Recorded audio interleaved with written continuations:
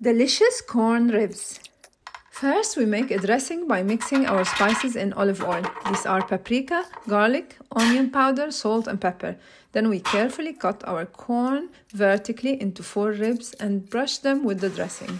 We then bake them in an oven or an air fryer. And in the meantime, prepare chili mayo dressing and enjoy this